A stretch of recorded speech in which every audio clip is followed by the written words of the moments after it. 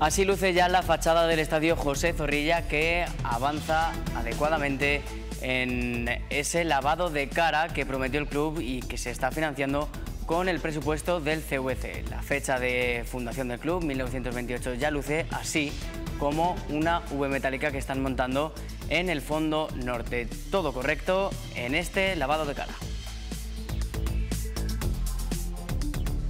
¿Qué tal? Buenas noches, vamos con la información deportiva, empezando por el Real Valladolid, que hoy ha contado con una nueva sesión de entrenamiento en la cual ha tenido más carga física para seguir preparando el partido de este fin de semana en el Santiago Bernabéu frente a un Real Madrid que viene bastante dolido después de empatar a uno frente al Mallorca. Ha sido una sesión que, como decimos, Petzolano ha trabajado mucho qué es lo que busca para el equipo, que intentará dar aún así la sorpresa y después ha charlado el club Javi Sánchez, el capitán de la primera jornada, con los periodistas. Sabemos que, cuál es el camino a seguir, qué es lo que tenemos que hacer y bueno, pasa todo por, por ir en la línea que fuimos en el primer partido. Javi Sánchez ya conoce lo que es jugar en primera división con el Real Valladolid y lo que cuesta mantener la categoría. Ya recuperado de la lesión que le mantuvo apartado durante casi toda la temporada pasada, el central busca ser uno de los líderes del equipo para lograr el objetivo. Lo que visteis en el campo fue lo que queremos hacer. Al final no todo sale mm, muy muy rodado, creo que salió bastante bien para, para el inicio de temporada y bueno, de ahí es el primer paso a seguir porque bueno, creo que esa es más o menos a cómo queremos jugar y queremos ser un equipo rocoso, físico y muy contundente, sabiendo lo que tenemos que hacer. El aspecto físico será muy importante esta temporada, pero asegura que el trabajo previo ha sido francamente bueno. La pretemporada la hemos enfocado de una manera, eh, tampoco Tampoco voy a descubrir aquí nada diferente, pero puede ser una de las más duras seguro, seguro. O sea, hemos entrenado muchísimo, muchísimo y muy fuerte a nivel físico, a nivel táctico, también a nivel mental. Con los primeros tres puntos ya sumados, se viaja al Santiago Bernabéu con más confianza. Y en su caso, al ser canterano de la fábrica, será un partido especial. Es curioso, al final he jugado allí como, como local, pero nunca, pero nunca de visitante. Cuando jugué contra ellos fue en el Di Stefano. Pero bueno, al final afronto ese partido con ilusión. Eh, tiene algo especial, obviamente, vengo, vengo de allí, soy canterano de allí. Pero, pero bueno, con mucha ilusión y sobre todo voy a, morir con mi equipo y a sacar algo positivo allí, que bueno, esperemos hacerlo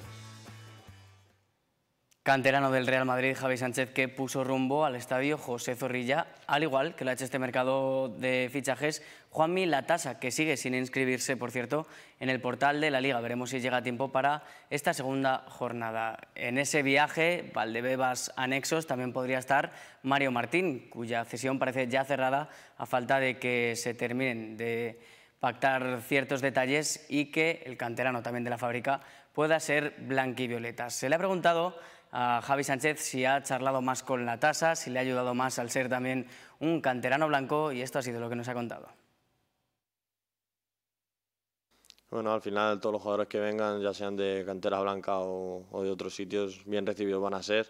Eh, no hablé con ellos antes, sobre todo en este caso con la tasa que, está aquí, no hablé con él antes de que viniera, no, hablé, ya te digo, y, cuando estuvo aquí, cuando ya llegó y demás, pues sí me preguntó algunas cosas y al final también aparte como, como capitán y compañero, eh, le da la bienvenida, le explica un poco cómo, cómo va todo y cómo, cómo funciona la institución, el club y demás.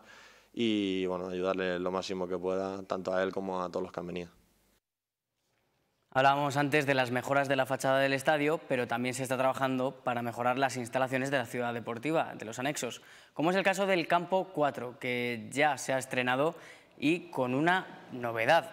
Es de hierba artificial pero no utiliza caucho. La Unión Europea, en su reglamento, contempla restringir las micropartículas de polímeros sintéticos y prohibirá la venta del sustrato de caucho a partir de octubre de 2031. En este caso, el Real Valladolid ha sido pionero en España y uno de los primeros en Europa en empezar con estas medidas. En este suelo que repetimos, no tiene caucho y aún así es de hierba artificial, porque el club también está comprometido con el, compromiso, con su entorno y con el desarrollo también de otras, otros aspectos que están fuera de lo deportivo.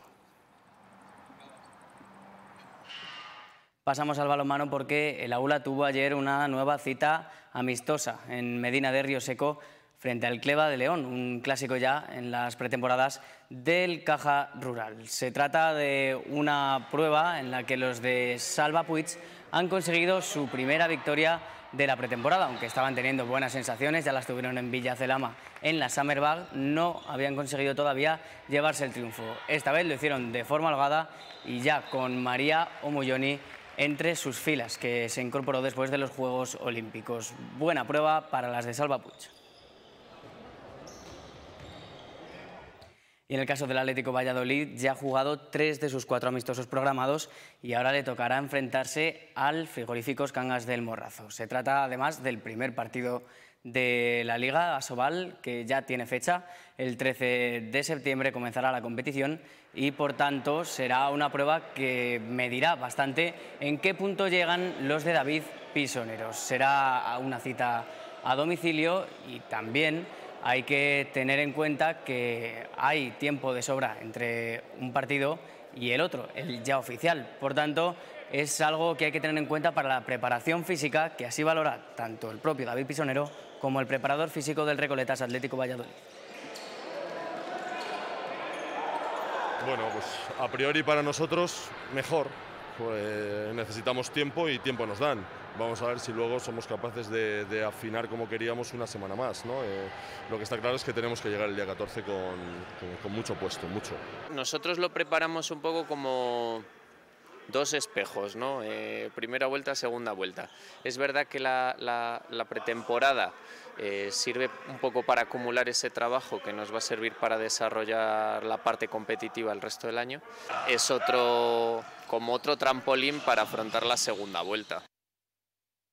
Este verano, no seas perezoso y pásate a Fibergreen. Elige tu paquete entre Fibermax Lite o Fibermax Pro. Precios para siempre. Fibergreen, conectando tu mundo. Ya está aquí la información deportiva. Mañana ampliamos a partir de las 2 menos 5 y ahora les dejamos con el tiempo. Buenas noches.